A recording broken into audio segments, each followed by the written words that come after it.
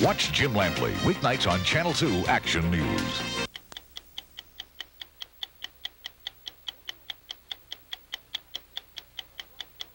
Debbie and Stephen Gregory can't have a baby, but want one desperately, which made them believe the doctor who was treating her with large doses of hormones. Three times that doctor told her she was pregnant and showed her sonograms, ultrasound pictures of the fetus. He would say things like, uh, there's Junior now, and he would um, he'd say, you know, oh, look, you know, he's rolling over. And yet, each time she was told she had miscarried, after the third time, she went to another doctor. And I thought he was going to say that we had lost the baby, that the baby had died. But he didn't. He said that I wasn't pregnant. And I said, What do you mean I'm not pregnant? He said, There is no baby. You are not pregnant. It's not because Ellen Morphonios is mean. It's just she believes guilty people should get the most jail time the law allows. 30 years in the state prison. Count two. 10 years in the state prison. Count three. 10 years in the state prison. Count four. 10 years in the state prison. She added up the years to make sure she hadn't missed anything. I think that totaled up to 60 years That's in the state Judge. prison. What she does is test it to the absolute limit. If she can get away with it, she'll do it. You see the signs on the front lawns and doors of almost every house in affluent neighborhoods. Houses and people protected by private security guard companies. In fact, there are twice as many private guards patrolling neighborhoods as there are police. How does it work out? Well, in one community, a teenager was brutally murdered, and this man, a private security guard, was accused of doing it. The standards to hire a security guard is zip. It's scary to consider some of the people who are out there uh, walking around with a gun all the time. The chance for a real tragedy is always there. I'm Mike Wallace. I'm Morley Safer. I'm Harry Reasoner. I'm Ed Bradley. I'm Diane Sawyer. Those stories and more tonight on 60 Minutes.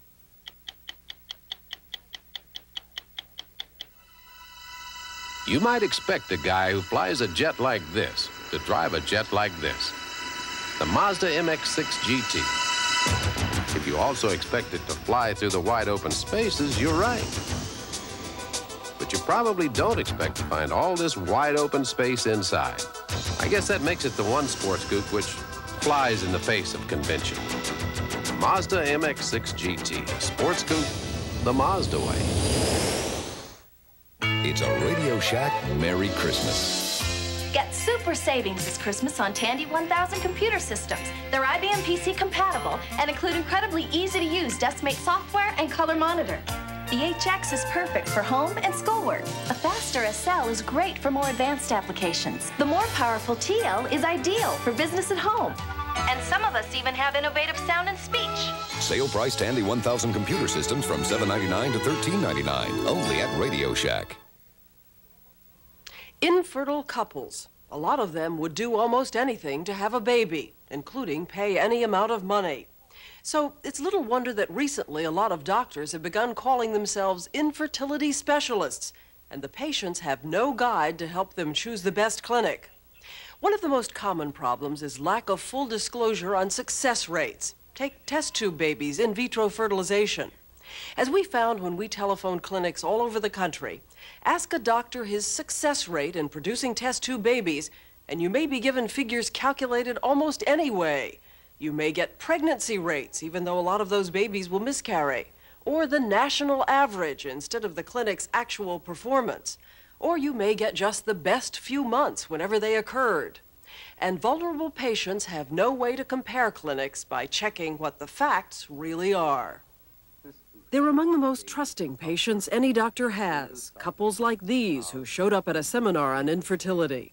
But the vast majority of patients will eventually benefit. Their faces are a study in desperation and hope as they dream about what they can't have a baby, like these miracle babies gathered together at a birthday party. These are all test tube babies, products of IVF, in vitro fertilization, where the egg is removed from the woman, fertilized, and returned. IVF costs about $5,000 every try, and some couples spend more than $100,000 on multiple attempts. When that much money is involved, it's no wonder that doctors feel the competitive urge to bring the business in, even when it means obscuring the success rates. Keep this in mind an IVF baby is a long shot.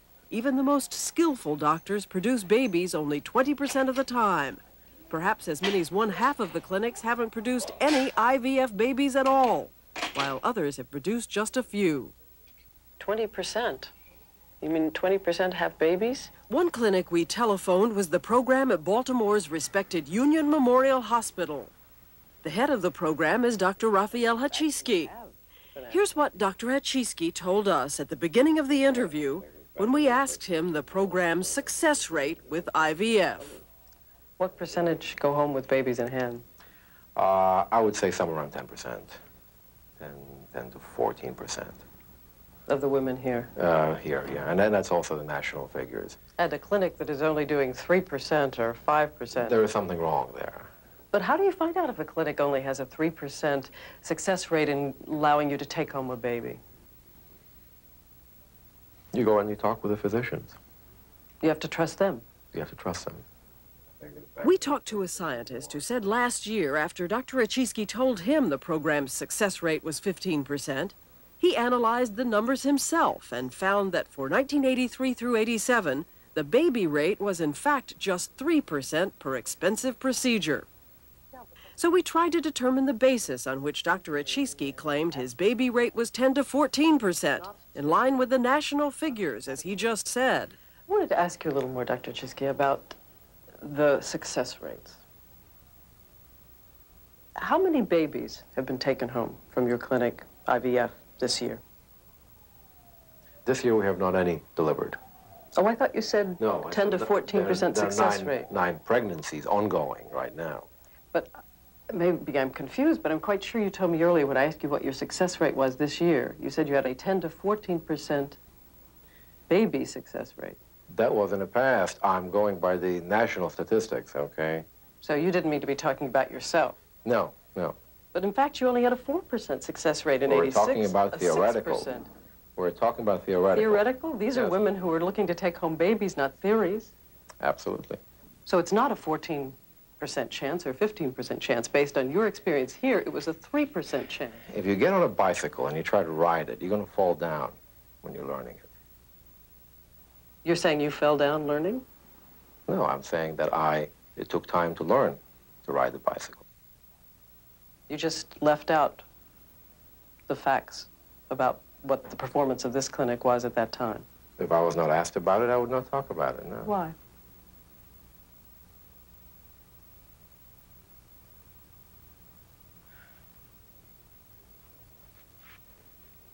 Well, it seems like it is shooting yourself in the foot. If you say that there is no success rate, then you will not have any patients, and your success rate indeed will be zero. Should you have done it differently? Should you have should you have been direct and told them what was going on here? Yes, I could have. And what about right now? Mhm. Should you be direct with people who I phone in? I am direct. If a patient comes and talks to me, I tell her what it is we're doing right now. You wouldn't tell her, for instance, there was a I'm not gonna- 20% chance of taking home a baby. No. I will Because tell Dr. her that right now we are doing X percentage. Would it surprise you, Dr. Achiski, that I telephoned Okay, this office okay. and I asked what the percentage chance in mm-hmm. IVF was mm-hmm. of taking home a baby, Mhm. and I was told 20%. 20%? Is this just another accident, another theoretical? You did not speak to me. I spoke to the person who gives out information on the phone. I specifically said taking home a baby. Mhm.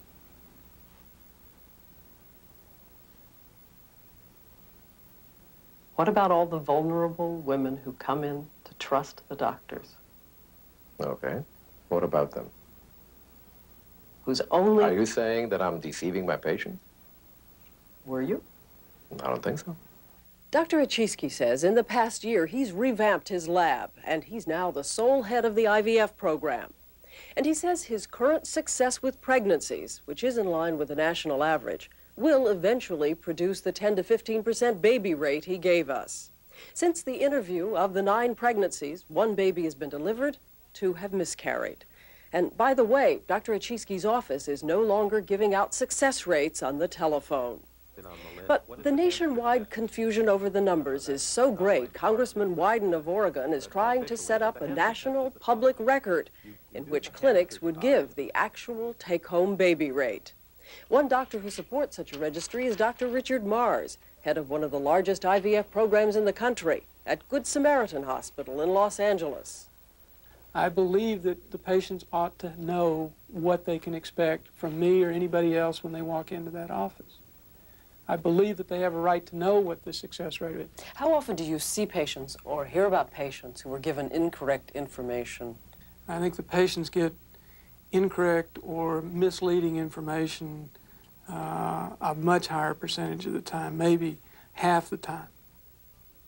If exaggerated success rates are a common problem in infertility, there's another potentially more serious problem incompetence, not just in administering IVF, but with other procedures like hormone treatments. Take the case of Dr. Cecil Jacobson, one of the pioneers in amniocentesis, who opened up a center for reproductive medicine in a suburb of Washington, D.C. Debbie and Stephen Gregory went to Dr. Jacobson after they checked him out with a local medical society. And they were elated when he told them that she was pregnant and let them see the baby, only a couple of months old, on a sonogram, an ultrasound picture he would show us um, the embryo, and as the pregnancies or supposed pregnancies moved ahead, he would say things like, uh, "There's Junior now," and he would um, he'd say, you know, "Oh look, you know, he's rolling over." But within a few weeks, Dr. Jacobson said Debbie had miscarried. He also said the fetus would reabsorb into the uterus, that no further procedures were necessary and the Gregorys say he discouraged them from seeing other doctors. Even so, during her third so-called pregnancy, Debbie did. Gregory went to be examined by another doctor. He said, get dressed and come into my office. I want to talk to you. And I knew something was wrong. And so we went into his office, and I thought he was going to say that we had lost the baby, that the baby had died. But he didn't. He said that I wasn't pregnant. And I said, What do you mean I'm not pregnant? He said, There is no baby. You are not pregnant. And he said that from what he could, you know, uh, gather that the HCG was causing me to appear pregnant. HCG was the hormone that Dr. Jacobson had prescribed in intense doses for Debbie Gregory and many of his other patients. What his patients didn't know was that the hormone HCG causes a woman's body to mimic the symptoms of pregnancy, including weight gain and false positive pregnancy tests. And how sophisticated is it to know that HCG will cause a positive pregnancy reading? I mean, is this something... I would hope a medical student would know that early in their medical school training. And how many times did this happen to you with Dr. Jacobson? Three. Three times he said you were pregnant. Yes. And three times you weren't. Right. Stephen and Debbie Gregory were only one of many couples who had this experience. Vicki and Bill Eckhart went through seven supposed pregnancies with Dr. Jacobson. They spent four years and more than $20,000 with him on infertility treatment and lab procedures like the sonograms. Would he talk to you about the sonogram? Tell you he could see a baby? Oh, yes. When you were laying on the table, he'd show you on the screen and he'd point to it. Here's your baby. You see it moving and... Of course, you see little dots and stuff, and you really don't know what you're looking at, so you believe that what he's showing you is your baby. Ten couples have now filed claims against Dr. Jacobson. He would not return our calls, but we did obtain a videotape of his appearance at a deposition last month. He claimed that his hormone treatments did not cause false positive pregnancy tests, and that his sonograms did show babies. Can you show me the location of the embryo within that picture? Um, the dot you see here with the slash is the cavity of the embryo, and this is what you would see flicker as you see the heart. It's hard to describe, but if you see it, you'll never forget it. We showed Dr. Marrs Debbie Gregory's sonograms. The doctor told them that he was circling a fetus, a baby.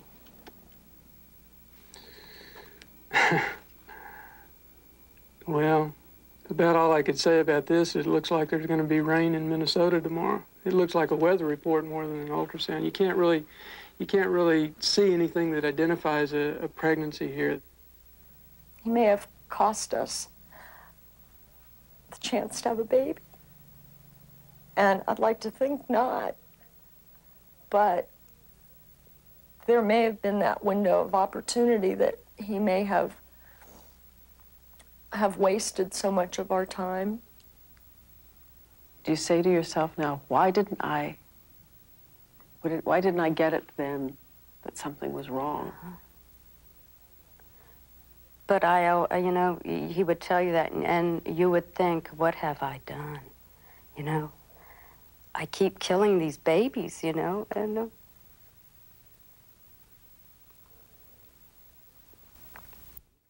And a final note. After the Eckharts stopped seeing Dr. Jacobson, they learned that other doctors in the Washington area had known about Jacobson's record of false pregnancies for at least seven years. But until this year, when some patients decided to sue, nothing was done. We have talked to other doctors, and they don't want to get involved because then they're going to, they're going to get in trouble from their friends. Other doctors that have been asked to testify that would say, yes, we'll testify when it comes time, their, their peers have put so much pressure on them, they have backed out of it. A lot of doctors knew about this man, didn't do anything, didn't stop him. And I think that's bad too. The fellow in question, uh, when there were other people that knew about him, why couldn't they stop him? Well, they claim that there's no way to stop him from practicing medicine. Well, I disagree with it. There's something wrong with the system if that's true. Why should we be different than any other professional organization or professional group? I mean, the, the stockbrokers are being looked at every day. The SEC looks at their activities. If they say that they can do something and they don't perform, they, they get canned for it. We're, say, we're saying we're above that type of regulation. I disagree. Dr. Jacobson is now being investigated by the Virginia Board of Medicine and the Federal Trade Commission. Dr. Jacobson has temporarily stopped practicing, but says he plans to return to his practice in the near future.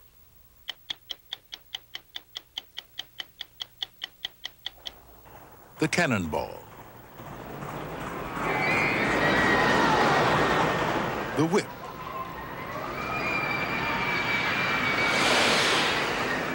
The Hurricane. Some call Air a test track. To us, it's an amusement park. And when a car can handle the rides here, we give it a special name. We call it a Volkswagen. German engineering the Volkswagen way. Quick, up here. It looks just like you. Looking all right yourself, kid. Now, when you buy a $5 book of McDonald's gift certificates, you get a free plush musical ornament of Oliver or Dodger. The characters from the new Disney movie, Oliver and Company, now only at a theater near you. Oliver and Dodger make great gifts and even play a tune. Hey, Dodge, we made beautiful music together. Yeah, kid. Your holiday place, McDonald's. I can't get out of bed. Ever notice how even the smallest cold turns everything into a big effort? What a drag! It's time to get the big relief of Dimetapp in 12-hour Extentabs. Dimetapp is recommended millions of times by doctors and pharmacists. So you have a cold? I've got just the thing. Dimetapp. It gets things back to normal. We all have things we wish we'd done. He's a full-time freshman. I'm here to try out for the team. So what does he have to prove? You're 53, Mike. You can get killed out there. And I'm just not sure where I fit in anymore. 30 years of a lot of sweat, so you people can turn on me. Robert Conrad and Jennifer O'Neill star in Glory Days, tonight at 9. The word is out. TV 101 is positive, funny, and bold. An engaging dramatic series. Fresh, clever, and outstanding. TV 101, Tuesday at 8.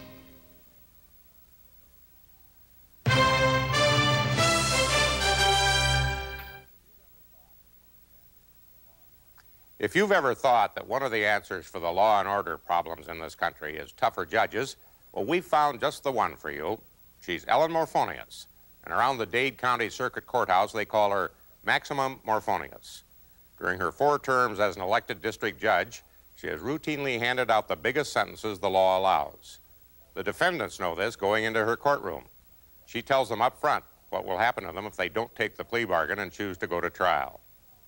Okay, same thing. Five, ten, fifteen years state prison looks to me like, pal. But I'm putting it in the ready. Asking ye shall receive. And 15 years is nothing. Just recently, for instance, she was sentencing a repeat offender involved in a robbery whose crime called for a recommended term of 9 to 12 years. Instead, this is what she gave him. Count one, 30 years in the state prison. count two, 10 years in the state prison. count three, 10 years in the state prison. count four. 10 years in the state prison. She added up the years to make sure she hadn't missed anything. I think that totaled up to 60 years in the state Judge. prison. But her famous sentences go way beyond anything like a mere 60 years or even life. Take, for example, crime and punishment in the case of a defendant named Jimmy Lee Coney. Jimmy Lee Coney had grabbed a little girl and, and a burglary, and he had hurt her badly, very badly. Is it possible you gave him 420 years, 330 year life sentences? That sounds like a a little bit. nice, fair sentence, and too bad I couldn't double it. As far as you know, he's still there. I hope he's still there. Richard Junko. Oh, he's fairly recent. Um, that's an armed home invasion. It was an extremely bad crime, and it got the type of sentence that I think it deserved. Like 16 consecutive life terms plus 70 years. That sounds about right. The people most concerned with Judge Morphonios, apart from the defendants, of course, are the defense attorneys who plead their clients' cases before her. Like public defender Carl Vizzi. Judge Morphonios is on the cutting edge, as I see it. She's, she stretches the limitations of what a judge can get away with and still be upheld. She's not always upheld. Sometimes the appellate courts will reverse some of her decisions. But I think what she does is tested to the absolute limit. In other words, if, um, if she can get away with it, she'll do it. But this is no wild-eyed hanging judge. In fact, Ellen Morphonios ranks respectably in the middle in a judicial poll of the Dade County Bar Association, with 85% ranking her qualified or exceptionally qualified. Are there some crimes you take a dimmer view of than others? You bet. Anything that involves violence. It isn't necessary to have violence to steal somebody's property. You don't have to break the little old lady's hip by pushing her down on the street to take her purse away. You don't have to beat somebody and knock their teeth out to take their wallet from them. Anything that involves animals and children, I'm particularly upset about. Um, a lot of the lawyers know that, and I, I've known of cases where they have been very anxious that I not find out that an animal was hurt in the burglary of the house. But I'm, yes, I'm particularly upset by that kind of case. Well, the doggy is all right, right? No, no, the dog died. Oh, Surgery God. through the field for this defendant, the police dog, did die from heat exhaustion. hmm I did not know that. I suppose you would regard that as all right for a judge to have personal feelings about crime. I mean, you're, you don't see yourself as an Olympian. No, you don't live in a vacuum. You can sit out there and look very stately or whatever word you want to use for it. But underneath the charming smile is still the same person that hates somebody who hurts children and hurts animals. The statue of justice always shows her with a blindfold. You don't wear a blindfold. Also shows her where I have a sword, too. Just as the judge is open in court about her hatred of violence against children and pets, she freely admits that personal experiences color her judgment. Burglars of vans are not my most popular breed of person. Having had mine burglarized twice in one month outside my own house. Don't blow probation. I'll remember you. The judge runs one of the fastest courtrooms in the East. She suffers only one continuance per side, unless it's for a very good reason. Your Honor, I would request with Yes? the court's indulgence and No. uh, ask that this case be uh, rescheduled for tomorrow so that I No. We've got about one, two, three, four, five, six, seven, eight, nine, 10, 11, 12, 13, 14, 15, 16 of them announced ready, and we'll get them all tried this week somehow. Of course, no one could take this kind of hectic schedule day after day. But luckily, the judge has mastered the art of relaxation. Am I hitting that sucker where he lives? You sure Yeah. yes. She's proud of her membership in the National Rifle Association, and she says she loved guns long before she took to the law. She claims she was firing a rifle almost before she could walk when she was growing up in North Carolina. And of course, the firing range can be good therapy. Walk away from that, you SOB. And she's got a favorite spot for catching red snapper, although she wasn't doing that well at it while we were there. Come on, baby, bite mommy's line. She's been fishing a long time, too, at least as far back as the early 50s, when she had an active modeling career. Long, long time ago, you would not believe that underneath this old fat body there once was a pretty young girl. Miss Coconut something or what? oh, all sorts of things. She won first place in the Coconut Harvest Maiden Contest and won Mrs. South Florida in 1952, among other things, and she has the trophies to prove it. This women's lib business that goes on now where they say that beauty contests are nothing but meat markets and that kind of thing, I disagree with that completely. Nobody ever came on trying to force me into doing something that nice young girls don't do. I learned how to handle myself on a stage and before people. I think that the training and the, the experience I got from that is invaluable in things that I did later on in life. You don't see anything wrong with a woman being, well, I won't say sex object, but being attractive. I don't see anything wrong with a woman being a sex object. I've got so old now, nobody thinks about me as a sex object, but I still think that way up in the head. Don't be too sure, Judge. There's no Mr. Maximum in her life at the moment, although she's been married three times and has two children. How do you get from beauty queen to judge without going to college? You never got a liberal arts degree. No, I did not, sir. Um, in that period of time, it was possible if you uh, received the backing, the recommendation of community leaders, plus took a Princeton test that proved you had the equivalent of knowledge and experience of a college degree, you could go straight into law school. I worked days, went to night school, and had babies. That's a nice, varied life. a year after graduating from law school, she became Florida's first woman felony prosecutor and was one of the stars of the state attorney's office through the 60s. In 1970, she ran for circuit judge, and she's been there ever since. By now, she runs unopposed. We are delighted to welcome back Maximum Ellen. Quit doing that. Part of her popularity may stem from frequent appearances on local talk programs, like the Sandy Payton Show in Miami, where she's often defended her practice of giving long sentences. There are many instances where I believe that the person who has been convicted of a crime uh, should do every bit as much of the 300 years as he is capable of doing. I don't give a sentence like that unless I think that he needs to stay there forever. You're condemning an individual. You're saying there's absolutely no possibility of rehabilitation. Do you ever wake up at night and think, you know, some poor devil may be there who's completely changed and it's all my fault? No, I don't think that at all. Uh, to start with, I haven't sentenced somebody like that unless I really and truly believe that's the sentence ought to have been meted out. If I had any reservations about it or doubts about it, I wouldn't have done it in the first place. You're saying some people are just bad. They're just incorrigible. Yeah. Forget it. Yeah, and it hasn't got anything with the way they're raised. I get so sick of hearing this, well, it's the mother and father's fault, they raised him wrong. There are some people that just go zig when everybody else goes zag. I've had so many of them where the, the mother has raised nine kids. And eight of them, You've got doctors and lawyers and people who are just fine, upstanding citizens, and one kid that just can't stay out of trouble for all the tea in China. It's just a bad kid. And you think when you spot one of those, forget trying to do anything about it.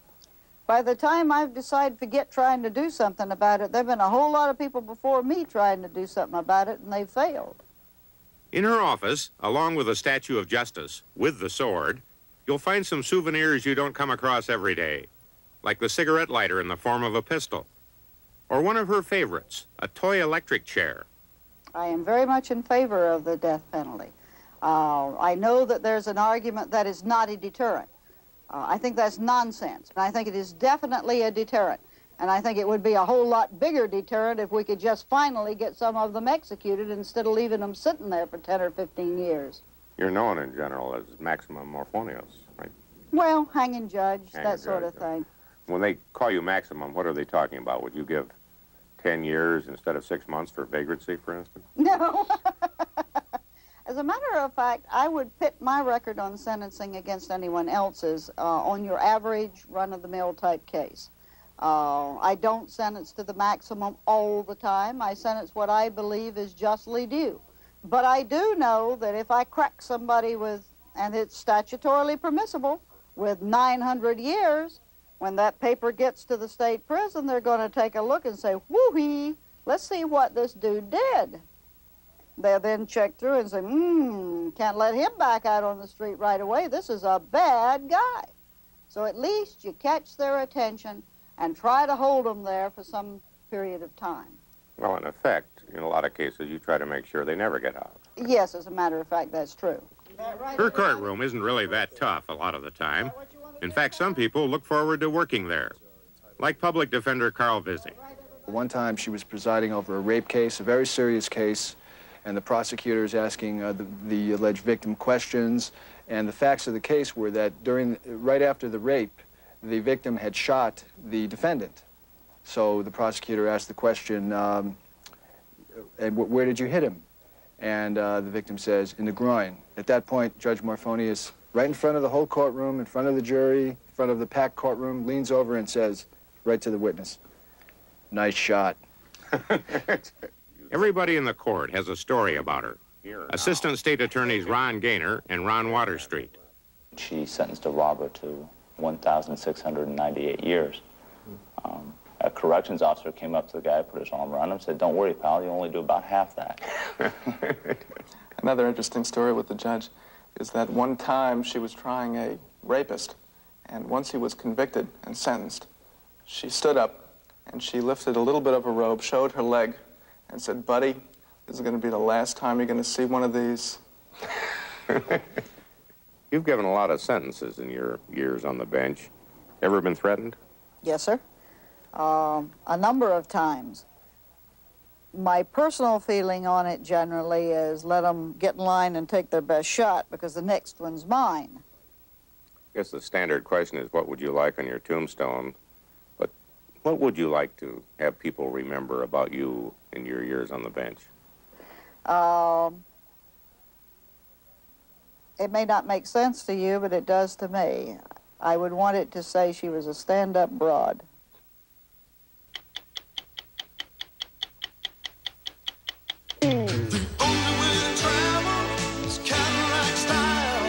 Announcing the totally new Cadillac Fleetwood, the state-of-the-art in six-passenger luxury. From the Fleetwood 60 Specials 22-way power assist seats to standard anti-lock brakes and V8 power.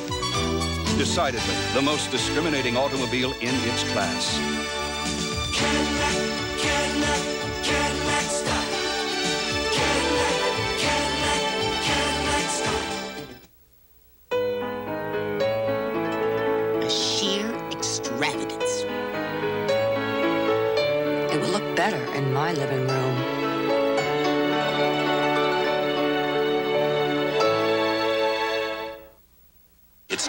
Car deserted on a frozen lake for four months, and 40 cars after two and a half hours with their lights left on. Today's Die Hard, America's number one replacement battery, with power to start your car, and a whole lot more. 60 Minutes, a CBS News weekly magazine, will continue. To see if the warmth of the holidays can rekindle the sparks of an old romance. That's your Christmas present, handsome. Almost Grown, Monday on CBS. A dramatic Emmy Award winning presentation. You promised Mama. You told her you would always take care of me. Starring James Garner, James Woods, and Piper Laurie. Promise, Tuesday at 9. This is CBS. If it's happening, I'm there, okay? Foreign films, yo, answering machine for my car phone, okay? Hey, it's goat cheese or no cheese. my beer, so hip, with a twist. When you're done kidding around, Heineken. Check me out. All my plastic, gold. You know, I live in the city, but my clothes say safari. my imported beer, ooh, the bigger the better, mate. Like we said, when you're done kidding around, Heineken. This year, Californians discovered how easy banking can be. Alpha from Bank of America. Checking, savings, overdraft protection. In one account with one statement. Plus, unlimited Versateller use at no charge. And now, Alpha has 24-hour phone service. Alpha, when it comes to simplified banking, no one does the job like B of A. Jessica Hahn takes on John Fletcher on the next Geraldo.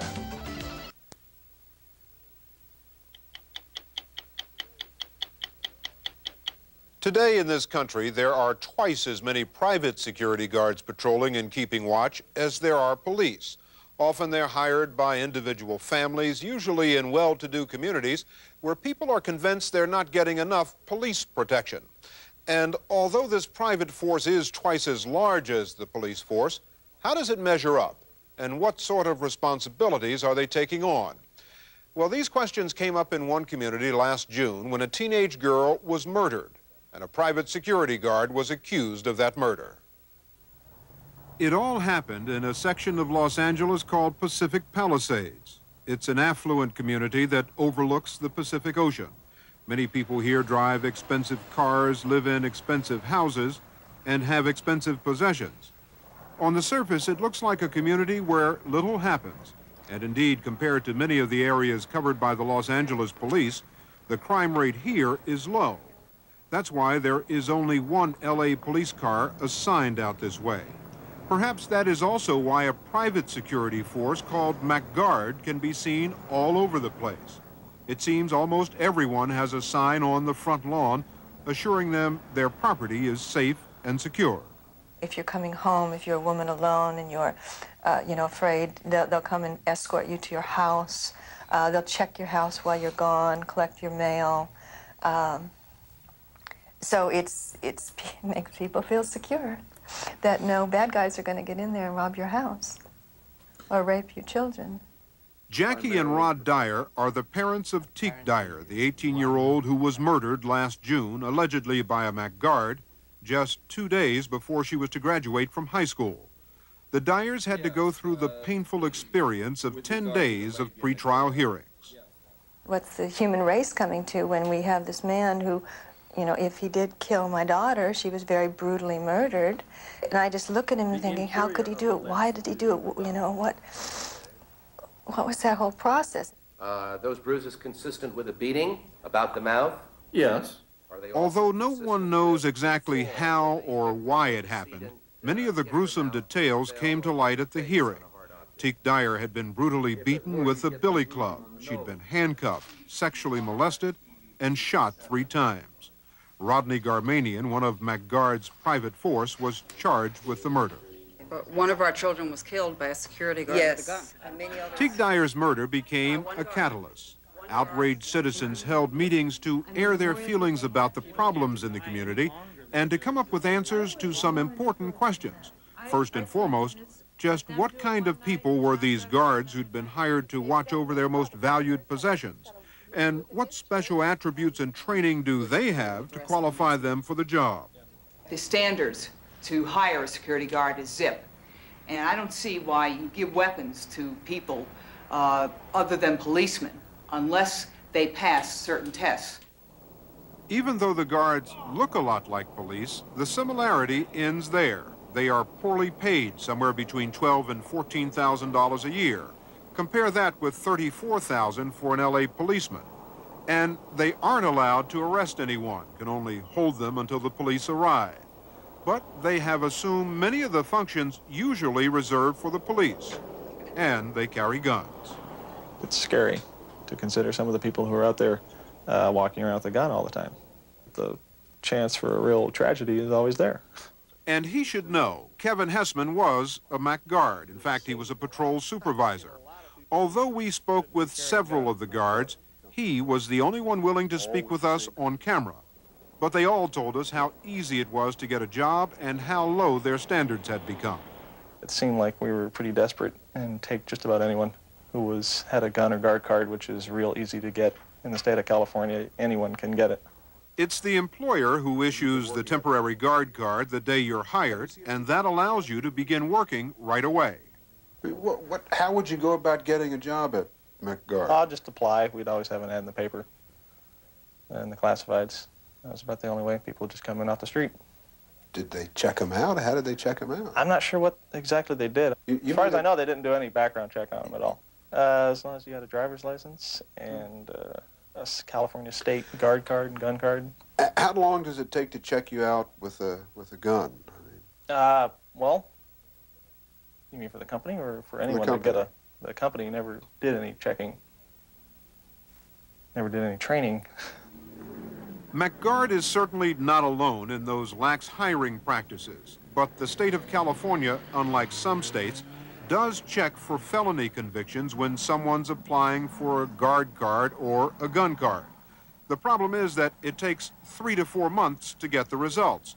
So murderers, rapists, and armed robbers could work as guards, and some have, at least for those three or four months, and no one would know the difference. The only restriction is that during that period, they wouldn't be allowed to carry a gun.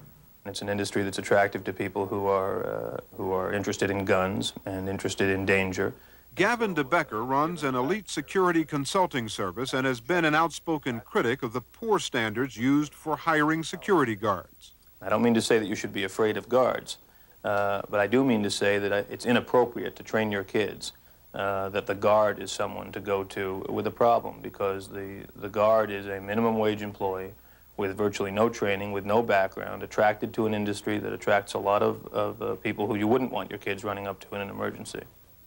I can think of numerous occasions where Mac guards have gotten into actual fistfights with a lot of the kids. Nicole Rabin and Aaron Garrity were close friends of Teek Dyers, the girl who was murdered. They said the guards were more of a threat than a protection. It seems like, you know, they really had like a vendetta against the kids, you know, because there are these kids in this rich neighborhood and, you know, it seems like a lot of these Mac guards are like the like the poor man's cop and they, they you know aren't cops and they have a gun and they like you know walk around like they have a lot of power and they like to use that you know and they're always harassing kids at parties You got these young patrolmen going out there and, and like trying to either prove something or show off to all these uh, high school high schoolers. What do they do? Uh, be real aggressive, bossy, try to play cop. Uh, they'd go out there. I guess the big problem everyone's focusing on is the uh, juvenile partying type. They go out and drink beer drinking parties, either at someone's house, a private home. They'd have a big party, which would get a hand. You'd have like 200 kids, and you know, of course it spills out into the whole neighborhood. Did you see a lot of alcohol consumed out Oh there? yeah. Oh, it was a mess. It seemed the guards had become more than the protectors of property for which they'd been hired. Some say they had also stepped in to become surrogate parents and self-styled disciplinarians of the teenagers, giving many parents a false sense of security. The kids didn't want to tell their parents what was happening because they'd get into trouble. So many of the parents weren't aware of what was going on. I mean, if there's a problem at these parties, they call the police, they call the security guards. Security guards. What, you, the police never come.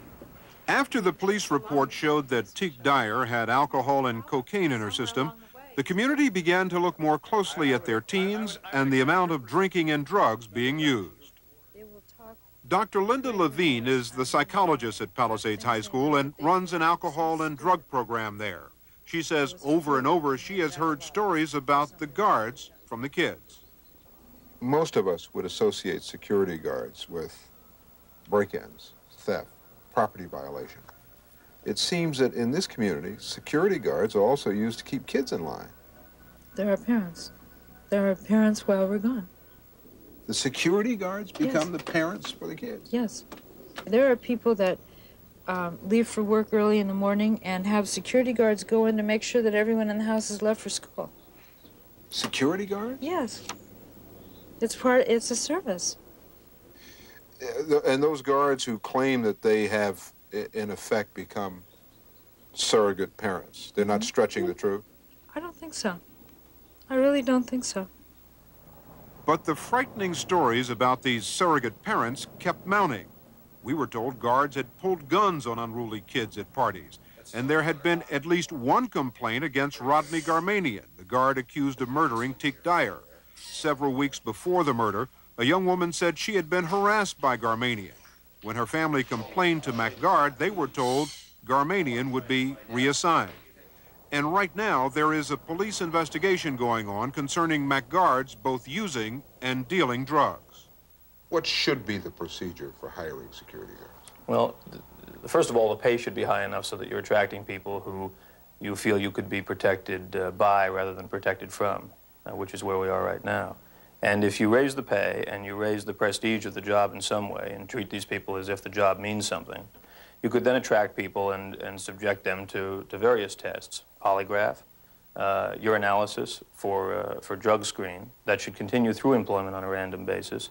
Certainly a very thorough background check that includes uh, uh, talking to references and uh, talking to neighbors and credit history and driving history and, and the regular things that we would do uh, when, uh, when employing uh, anyone who has a lot of responsibility. We had a lot of questions to ask Kirk McDowell, who was the president of MacGuard, but on the advice of his attorney, he wouldn't talk to us on camera. We wanted to ask about his lax hiring practices, about complaints that had been lodged against MacGuard, about allegations that several of them had been using and dealing drugs.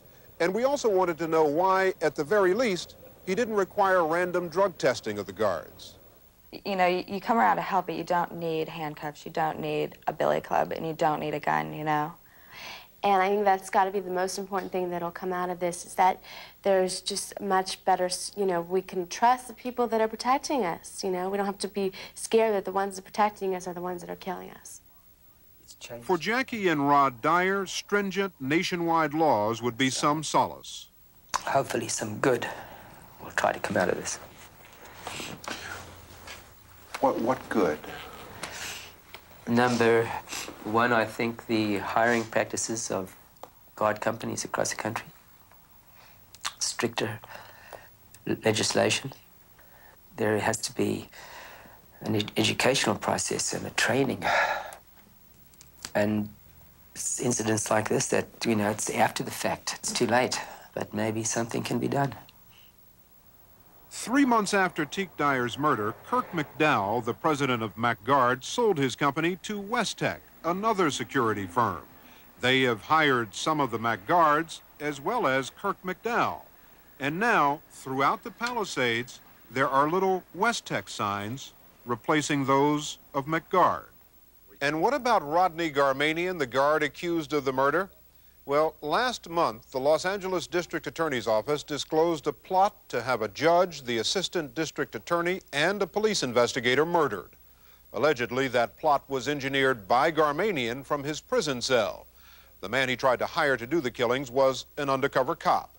Garmanian offered him $15,000 to do the job. Part of the fee was to be paid in cocaine.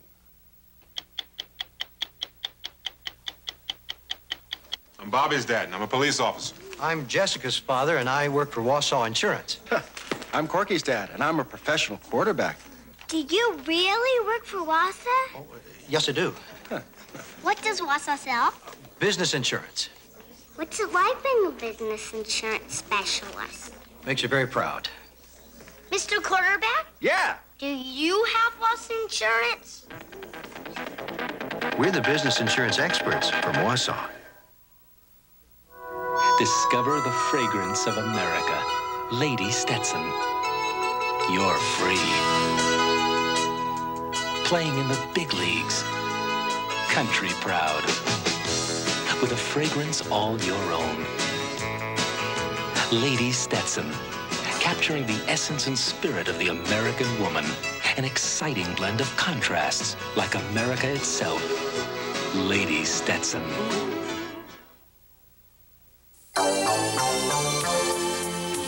Introducing a completely different Mercury Cougar.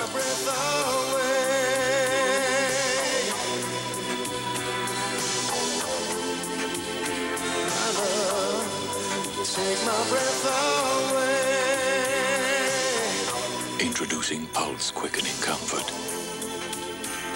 The all-new Cougar from Mercury, where comfort and control are one.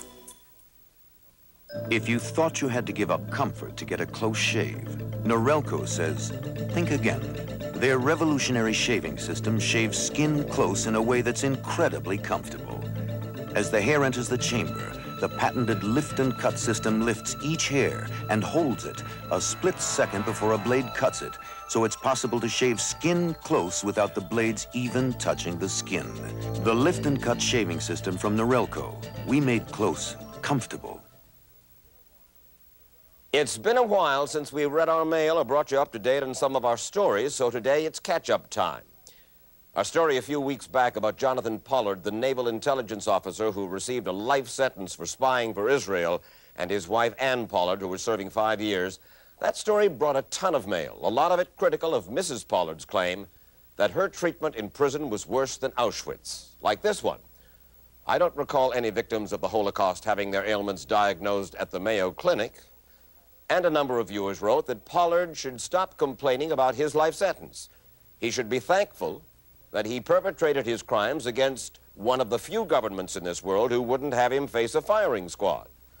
But there were also letters of support for the Pollards, like this one from a lawyer. As an attorney, I know that something is wrong when someone pleads guilty and cooperates with the government and still gets the maximum sentence. And this, how would such intelligence in the hands of a staunch Democratic ally, Israel, be a threat to the safety and security of the United States? Back in October, we broadcast a story called Who Killed My Son? about a lawyer who refused to name his client, even though the lawyer knew the client may have been responsible for the hit-and-run death of a young man. The lawyer was supported by the courts in his claim of lawyer-client privilege. Well, two and a half years after the accident, and two weeks after our story, Palm Beach police arrested William Morser of Delray, Florida, and charged him with leaving the scene of an accident. And earlier this year, we reported on Teamster Local 560, which had been taken over by a federal judge, because the local was in the hands of what he described as racketeer-dominated loyal lackeys of the mob. This week, after two years of federal trusteeship, Local 560 held an election and overwhelmingly voted for the same group the judge had thrown out. Back now to the mail. Our story two weeks ago about the American Bankers Association convention in Hawaii brought a flood of letters, most on the same theme, criticizing Morley Safer for saying that 4,000 bankers and their wives were there. This viewer wrote, Morley, Morley, Morley, say it isn't so. I'm appalled. And another said, I find it hard to believe that all the bankers at the conference were men. Maybe that is why banks are in such trouble. Well, ladies, and all you others, we do apologize. We should have said almost all the delegates were men. There were a handful of female banker delegates. We got a number of letters criticizing the Boston couple we reported on last week, who only trusted Christian science rather than medicine when their son got sick and died. But we also heard from a lot of you who saw a double standard, like this viewer who wrote, Shouldn't a surgeon who only tries surgery and the patient dies also be tried for manslaughter? And finally, everyone out there seemed to fall in love with Mrs. Mack, Debbie McIntosh, the coach of the boys basketball team at an inner city high school whose story we told two weeks ago. This letter sums it up. On a scale of 1 to 10, Debbie rates a 15. I'm Mike Wallace. We'll be back next week with another edition of 60 Minutes. Now you have your license. You can get behind the wheel, showing off your freedom, and you like the way it feels. Heading for a good time. Gonna pick up someone special. Great taste. Impress the lady. Davy. Busy for lunch, Grandma? The Good time, great taste. We could go inside, Davy. And get out of the car? Of McDonald's. There go those human zooms trying to get the pictures they want. Now Pentax has an IQ zoom for everyone with a built-in zoom lens so you can get the pictures you want. Pentax, the IQ Zoom 70 and now the IQ Zoom 60. We asked 100 doctors with sore, aching wrists which pain reliever they'd recommend. They chose the Skil Twist cordless power screwdriver, now available in extra strength. The Skil Super Twist at hardware stores and home centers. Mazda's got a brand new vehicle that's as unique and special and friendly as the family dog. It's the all-new Mazda MPV. It carries seven like a wagon, it's versatile like a van, and with its responsive V6, it performs like a Mazda.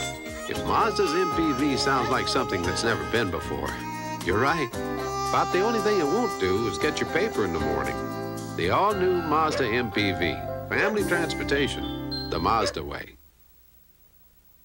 Are you ready for Sunday night? Are you ready for CBS? Oh, excited, nervous, happy, frightened, confident, insecure. It's the wedding of the year when Allie ties the knot. A special Kate and Allie right after 60 minutes. That's Great! Whoa, what a kiss! Then it's Murphy Brown. You know Santa Claus? Yeah, we met in a bar in Morocco. She's getting kids for Christmas. We want like June Cleaver on acid. Tonight, a special night of comedy with Kate and Allie, followed by Murphy Brown. Am I hitting that sucker where he lives? You sure are. Yeah. yes.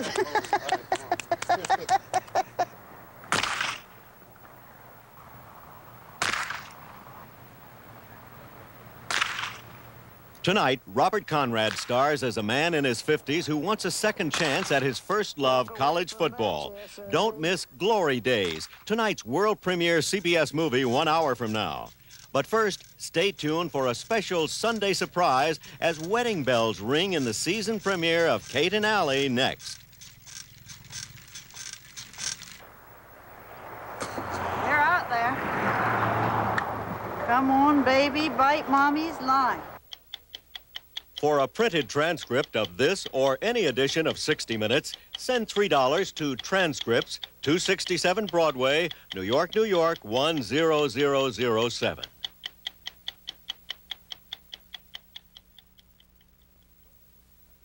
Monday, there's plenty of flap when Steffi falls for a handsome hunk. Dick, I want Stony. Bad. Whatever. Loads of fun on Newhart, Monday. The Peanuts Gang searches for the true meaning of Christmas. I think it needs me. It's the holiday classic, A Charlie Brown Christmas, Wednesday. I've killed it. Inside the Vatican, a rare look into the private world surrounding a public pope. We are doing 48 hours in the Vatican. A secret world outsiders never see. This meeting will be conducted in secrecy. And the miracle that puts an American woman on the road to sainthood. 48 hours, Thursday. This is CBS. When I wrote Future Shock, I talked about the need for new tools for coping. With tools like this, the futures come home. Introducing Prodigy. It's a new service for personal computers. I can get consumer reports right here. You can buy gifts without ever leaving your home. I think shopping at home's a winner. It has incredible implications for education and fun. Prodigy from a partnership of IBM and Sears. You can get your airline tickets, buy and sell stocks, all of them at home. Prodigy. See it at a dealer near you. Why do you care what I eat for breakfast? Maybe we shouldn't discuss this while you're under the influence of sugar and preservatives. And what should I be influenced by? Nuts and twigs? Kellogg's Nutri-Grain cereal with no sugar added and no preservatives. Mmm, this is much better than I thought.